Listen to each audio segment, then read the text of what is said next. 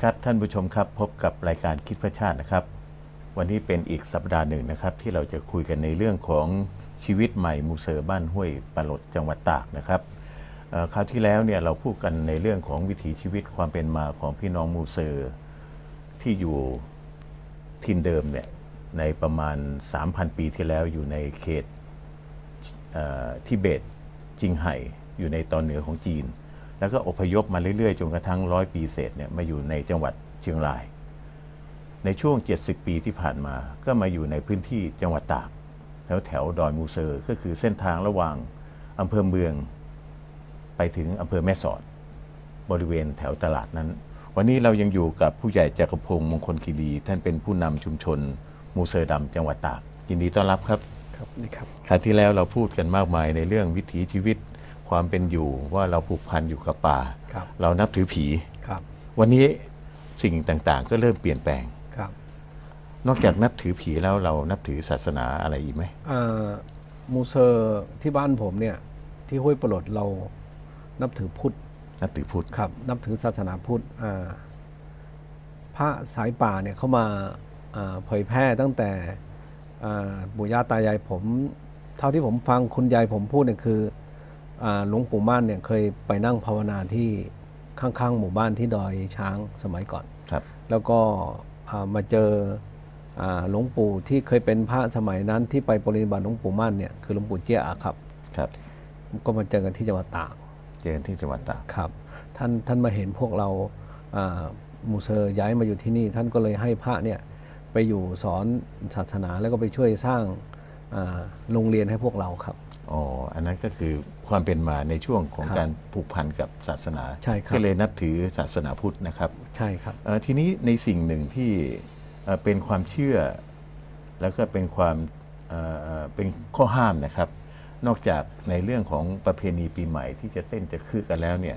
เอ่อมีอย่างอื่นอีกไหมครับ ในเรื่องที่เราถือเวลาเข้าไปในหมู่บ้านเนี่ยครับอ่าในช่วงปีใหม่เนี่ยมูเซอร์เนี่ยคือถือคือหนึ่งอ่าห้ามเอา กล้วยเข้าบ้าน ครับ ครับ แล้วก็ห้ามเอาไม้ไผ่เข้าบ้าน ไม่ผ่ายเข้าบ้าน ครับ เพราะว่าอาของสองอย่างนี้เนี่ยคือเวลาเราทำอุปกรณ์ที่เราจะส่งข้อส่งผีอย่างอย่างเช่นอ่าทำเป็นซุ้ม หรือบ้านจำลองให้กับผีอย่างเงี้ยครับ เราจะใช้อ่าไม้ไผ่หรือกาบกล้วยพวกเนี้ยครับอ่าให้กับพวกผีอย่างนี้อ๋อทำเป็นช่องอ่าๆใช่แล้วคก็รับเอาอาหารไปใส่ ใช่ครับเขาเรียกเป็นอย่างนั้น เรียกอ่าคนเมืองภาษาเมืองเรียกสตวง แต่มูเซอร์เราก็ทำอย่างนั้น แล้วก็ก็อ่าเป็นเราก็ส่งไปส่งให้เข้าไปครับ ครับ ในเรื่องชู้สาวล่ะ มูเซอร์นี่มีแฟนได้กี่คนอ่าเรื่องของการครองเรือนเนี่ยมูเซอร์เราอ่ามีสามีภรรยาในขณะเดียวกันได้แค่คนเดียวครับเดี๋ยวเอาเอาตรงนี้ก่อน อันนี้รูปอะไรครับอ่าภาพอะไรอันนี้เป็นอ่า มูเซอร์เรียกการขึ้นศาลเจ้า ขึ้นศาลเจ้ามีศาลเจ้าด้วย มีครับ อันนี้อ่าอันนี้คือเวลาเราจะเข้าฤดูการเพาะปลูกฤดูการใหม่เนี่ยส่วนใหญ่คือประมาณหลังอ่าปีใหม่สงกรารของคนเมืองแล้วเนี่ยเราเห็นอ่าฝนฟ้าเริ่มตั้งเขาเนี่ยมูเซอร์ก็จะดูเลิกษ์ยามเพื่อที่จะไปขึ้นอ่าสันเจ้าดูดูดวงเมือง ดูเรื่องเมืองครับว่าอ่า ฤดูการปีนี้เนี่ยอ่าเราจะมีการเพาะปลูกหรืออุปสรรคในการดำเนินชีวิตเนี่ยยังไงครับนะครับก็ก็ที่นี่จะเป็นที่สถานที่อ่าดูดวงเมืองครับก็จะอ่าตรงเนี้ยมันต้องมีป่ามันต้องมีอ่าธรรมชาติเนี่ยให้ให้ให้ประกอบพิธีกรรม มูเซอร์ทำไมถึงรักป่า เพราะว่าอ่าพัฒนธรรมเนี่ยคือเป็นตัวอ่า กรอบให้เราเนี่ยคือช่วยกันรักษาป่า ถ้าไม่มีป่าเนี่ยเราจะไปทำกลางแจ้งไม่ได้ หรืออ่าอุปกรณ์ที่เรามาใช้เนี่ยคือไปสมมุติไม่ได้ครับนะครับ อันนี้ไม้ไผ่นะ อันนี้ไม้จริงนะไม่ได้ คือต้องเอาของจริง เอาของจริงเลย ต้องเอาของจริง แล้วก็พื้นที่ตรงนี้เนี่ยคือไฟป่าเข้าไม่ได้ สารเนี่ยอันนี้ไฟไหม้ไม่ได้ เพราะอะไร เขาถือว่าถ้าไฟไหม้อ่าสารเนี่ยคือชุมชนเราเราจะมีรังสังหรณ์คือชุมชนก็คือจะมีอันเป็นไป คือคือว่าคือชุมชนจะจะถูกยุบหรือจะจะมีคนมาทำลาย ถ้าอย่างนั้นก็คงจะเกี่ยวพันว่าเราจะตั้งหมู่บ้านที่ไหนเนี่ยก็จะต้องมีการเลือกอ๋อจะต้องดูทิศทางดูทิศทางดูทิศทางครับจะเลือกอย่างไรอ่าคนแก่เขาจะดูเรื่องของอาความอุดมสมบูรณ์ของสภาพป่าครับต้องมีน้ำมีน้ำนะครับมีสภอ่าธรรมชาติ แล้วก็พื้นที่ที่เราอยู่อาศัยเนี่ยคือไม่มีอ่าเงื้อมผาเงื้อมผาเยอะๆเนี่ยมูเซอร์เขาเขาบอกว่า มีอ่าพวกผีอยู่เยอะ ถ้าผีอยู่เยอะเนี่ยคือเขาอยู่ไม่เป็นสุขครับถ้าแล้วก็อากาศร้อนอากาศร้อนเนี่ยคือมูเซอร์มูเซอร์เชื่อว่าอ่ายุงเยอะยุงเยอะเนี่ยคือไข้ป่าเยอะโอ้ก็จะไม่อยู่จะไม่ตั้งครับบ้านเรือนครับ ทราบว่าประเพณีการแต่งงานของมูเซอร์นี่เป็นไงครับอ่าประเพณีมูเซอร์การแต่งงานเนี่ยคือ มีสามีภรรยาได้คนเดียว คนเดียวครับ คือห้ามห้ามมีสองคน ถ้ามีสองคนเนี่ยคือถือว่าผิด ผิดอ่าประเพณีปิดประเพณีครับ คือหนึ่งจะต้องถูกขับออกจากหมู่บ้านอ๋อใช้ใช้กฎของชุมชนเลย ใช่ครับในถ้าถ้าถ้าไม่ยอมออกไปล่ะ ถ้าไม่ยอมออกไปเราไม่ให้ร่วมประเพณีอ๋อถ้าไม่ถ้าอ่ามูเซอร์เนี่ยเราเรามีความเชื่อว่าถ้าเราไม่ได้ประกอบประเพณีเนี่ย คือเราทำมาหากินไม่ขึ้นอ๋อเราเชื่อในสิ่งหนึ่งครับก็ก็เป็นเรื่องดีนะครับเป็นเรื่องดีครับ ทีนี้การที่เราจะเลือกหมู่บ้านสักแห่งหนึ่งที่จะตั้งเนี่ยทำอย่างไรอ่าเราเราจะดูอะไรเป็นทิศทางหรือว่าเป็นหลักในการที่จะเลือกว่าจะตั้งหมู่บ้าน คือมูเซอร์คือเขาจะดูว่าพื้นที่ตรงนี้เนี่ยเหมาะในการเพาะปลูกไหมครับครับ ถ้าอ่ามีคือเรื่องของพื้นที่ที่จะตั้งบ้านเรือนเนี่ยจะปลูกบ้านเนี่ยถึงแม้จะลาดชันเนี่ยเขาไม่ค่อยห่วง ห่วงว่าอ่าในการเกษตรเนี่ยคือปลูกข้าว งามไหมดินอย่างนี้เนี่ยอ่าน้ำอย่างนี้เนี่ยคืออากินแล้วเราจะป่วยไหมอ๋อจะเป็นโรคนิ่วไหมมีน้ำหินปูนไหมครับเขาจะดูตรงนี้ครับอ๋อครับ ทีนี้คนที่ตัดสินใจจะตั้งหมู่บ้านอ่าคนที่จะตัดสินใจตั้งหมู่บ้านจะมีอยู่อ่าสามสี่คนหลักๆ ก็คือหนึ่งปู่จานปู่จานคือใครปู่จานคือผู้นำพิธีกรรม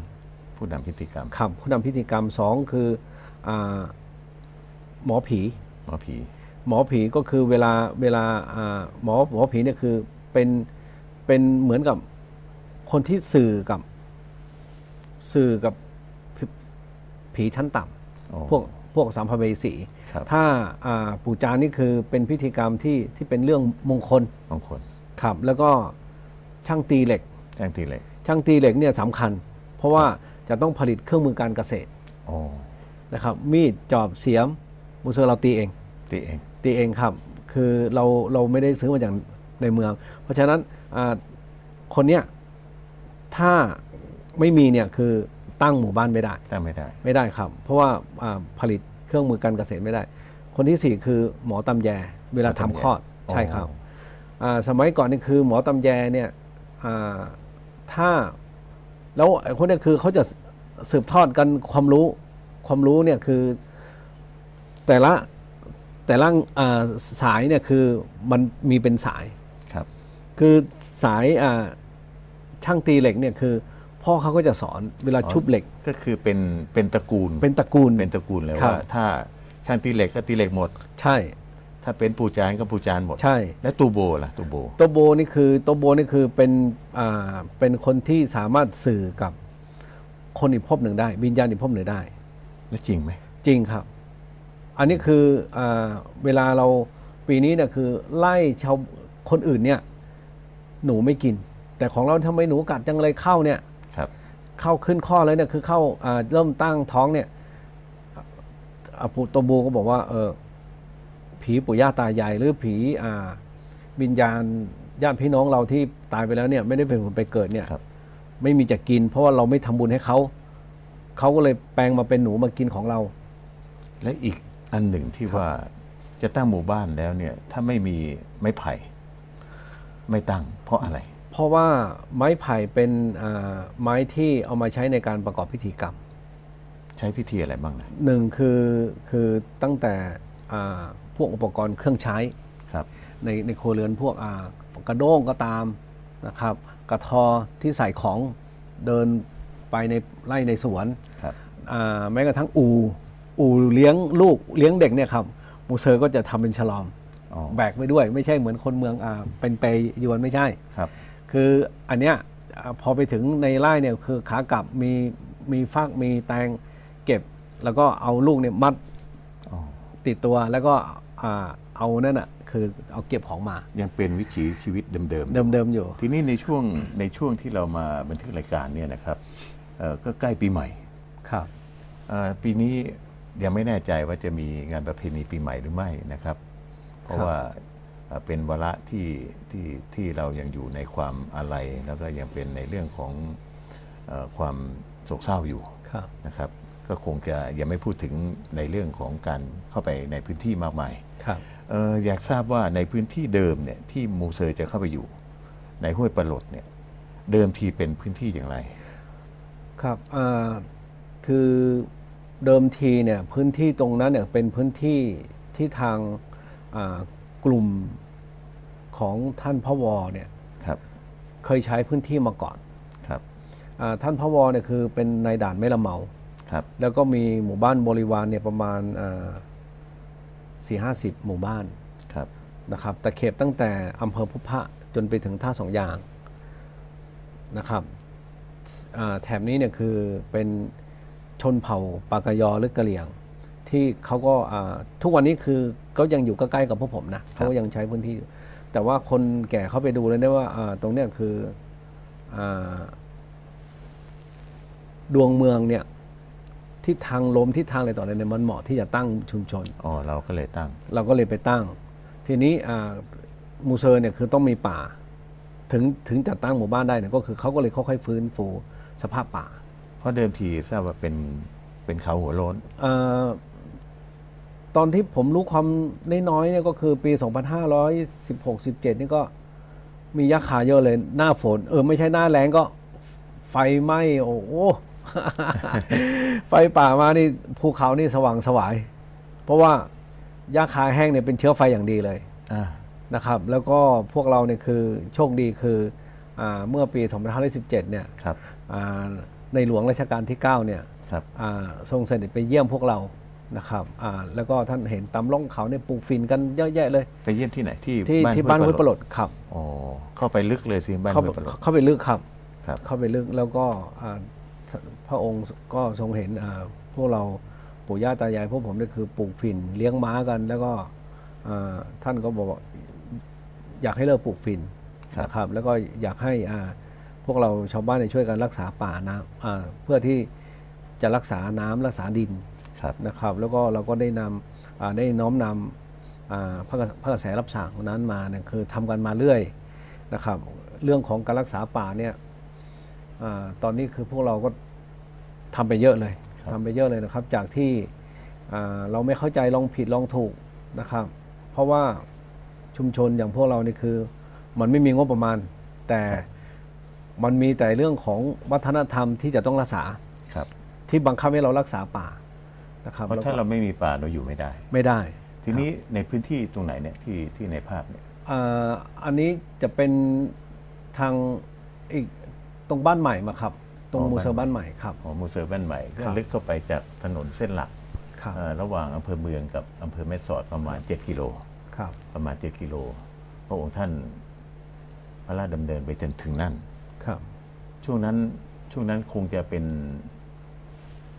เนี่ยเนี่ยอย่างอย่างในภาพเนี่ยคืออะไร ภาพนี้คือเป็นอ่าอันนี้คือ ภาพที่ในหลวงไปทรงเยี่ยมอ่าพี่น้องญาติพวกเราทางขอบด้งทางทางฝางอ๋อครับก็ก็มีคนอ่าส่งมาให้พวกเราได้ดูกัน ก็ได้เก็บก็คือสภาพบ้านมูเซอร์สมัยก่อนนี่ก็มี อากองไฟอยู่ตรงกลางมีอ่าสามขาอย่างนี้ครับที่เห็นอยู่นี่ก็ตั้งสามขาครับเพราะว่าบ้านมูเซอร์นี่คือที่กินที่นอนในที่เดียวกัน ทีเดียวเลยที่เดียวกันอยู่อยู่ที่เดียวครับก็แสดงว่าอากาศเย็น อากาศเย็นครับ อากาศเย็นแล้วก็ต้องก่อไฟตลอดอ๋อครับนี่ก็เป็นภาพทางทาง